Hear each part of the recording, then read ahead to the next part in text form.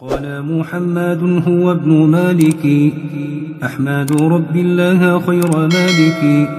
مصليا على النبي المصطفى وآله المستكملين الشرفا. وأستعين الله في ألفية. مقاصد النحو بها محوية.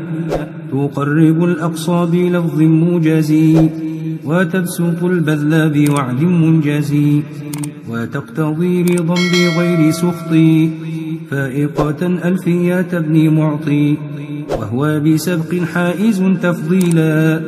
مستوجب ثنائي الجميلا الله يقضي بهبات وافرة. لي وله في درجات الآخرة.